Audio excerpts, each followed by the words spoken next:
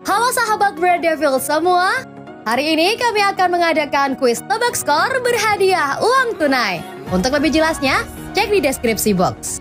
Tapi sebelum kita lanjut, guys, kami mau sampaikan dulu nih kalau video ini disponsori oleh OneXBet.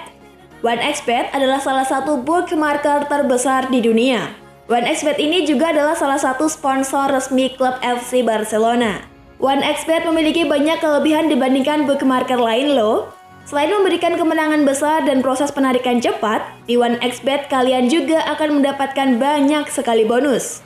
Di sini, game yang bisa kamu mainkan bukan cuma game olahraga aja, tapi banyak sekali game-game lain yang juga akan memberikan kalian kemenangan besar. Untuk bermain di sini juga cukup gampang. Caranya, kita daftar dulu. Jangan lupa masukkan kode promo kami dengan cara ketikan Red Devil agar kalian mendapatkan bonus 100 dolar. Lalu, masukkan deposit dan mulailah bermain bersama dengan teman kalian. Jadilah pemenang ya. Jadi tunggu apa lagi? Ayo buruan main dan dapatkan bonus melalui link dan kode promo yang sudah kami sematkan di kolom komentar.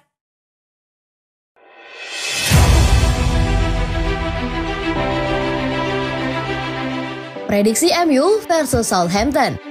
Manchester United akan kembali berlaga melawan Southampton di Old Trafford pada pekan ke-25 Premier League 2021-2022 pada Sabtu 12 Februari 2022.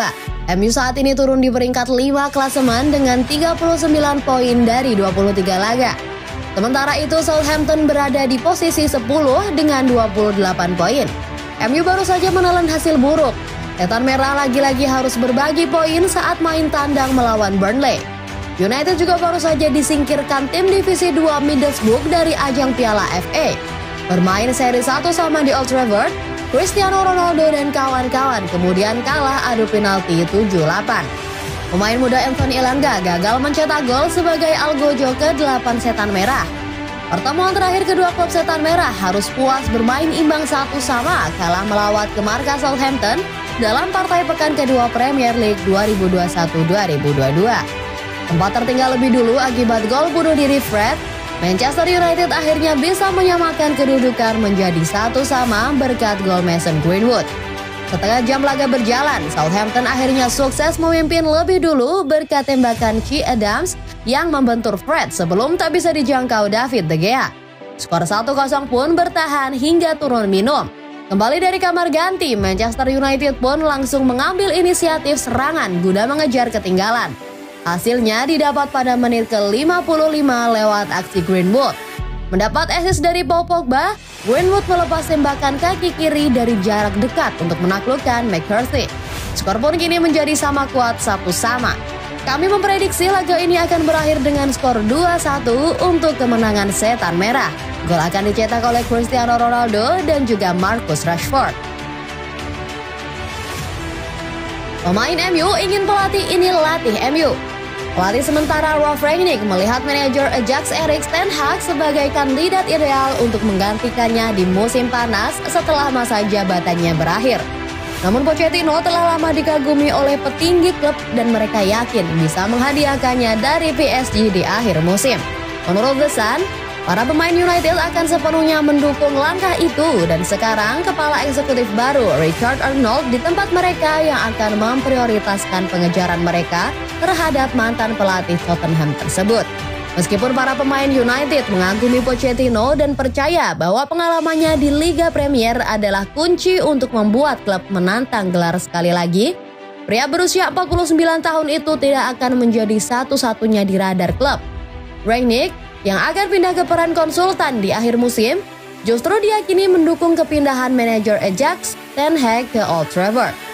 Pelatih asal Belanda itu cocok dengan kriteria utama United dengan mempertaruhkan nyawa para pemain muda, memainkan sepak bola yang atraktif dan secara teratur menantang gelar. Setelah menghabiskan beberapa bulan bersama skuad, Rangnick akan berada dalam posisi yang kuat untuk menyuarakan pendapatnya tentang tipe manajer seperti apa yang dibutuhkan klub ke depan. Tetapi itu bisa bertolak belakang dengan apa yang diinginkan para pemain United. Meski cetak gol, Pogba tetap tuai kritik.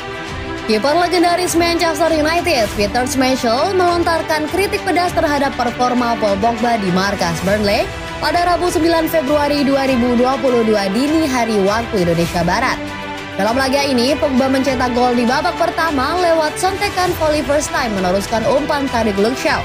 Sayang, United gagal meraih kemenangan setelah Jai Rodriguez menyamakan kedudukan di awal babak kedua.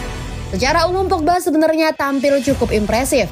Tujuh kali memenangi duel udara dan melepas satu umpan kunci untuk rekan setimnya.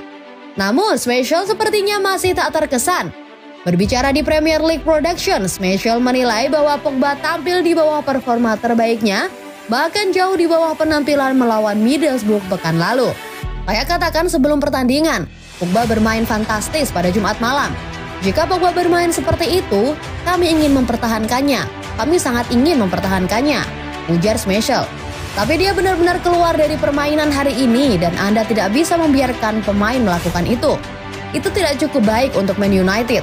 Di Man United, Anda harus memiliki level rendah yang sangat, sangat tinggi dan minimal Anda harus tampil untuk itu. Lebih lanjut, Smashel juga mempertanyakan hasrat skuad Manchester United untuk memenangi pertandingan karena ia menilai serangan mereka sangat buruk di babak kedua. Anda harus memiliki jenis urgensi dan pemahaman tentang kapan Anda harus mendorong maju untuk mendapatkan gol yang Anda butuhkan. Tutur Smashel. Kiper Newcastle tolak pindah MU. Penjaga gawang Newcastle, Martin Drubavka, diklaim ternyata menolak pindah ke Manchester United pada penghujung jendela transfer Januari 2022 kemarin.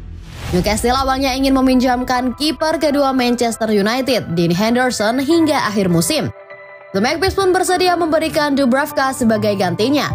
Newcastle menyadari bahwa Manchester United membutuhkan penjaga gawang pelapis David De Gea karena itu, Newcastle pun menawarkan Dubravka sebagai bagian kesepakatan peminjaman Henderson. Kini, seperti dilansir Manchester Evening News, peminjaman Henderson ke Newcastle akhirnya gagal terwujud karena Dubravka menolak untuk hengkang ke Manchester United. Dubravka merasa tidak ingin hanya menjadi kiper nomor 2 di Manchester United setelah selama ini ia selalu menjadi pilihan utama di bawah Mr. Newcastle. Alhasil Henderson kini tetap menghuni skuad Manchester United dan menjadi pelapis De Gea. Sedangkan Dubravka tetap menjadi kiper nomor satu di tim asuhan Eddie Howe. Henderson sendiri memang ingin meninggalkan Manchester United karena tak puas hanya menjadi deputi De Gea. Setelah menggelar diskusi dengan Wolf Rangnick, peminjaman pun menjadi opsi yang dipilih. Setelah gagal pindah ke Newcastle, Henderson menjaga gawang Manchester United saat berhadapan dengan Middlesbrough di Piala FA pekan lalu. Sayang, ia gagal menunjukkan performa apik dengan gagal membendung 8 eksekusi lawan di babak adu penalti. Manchester United pun harus tersingkir.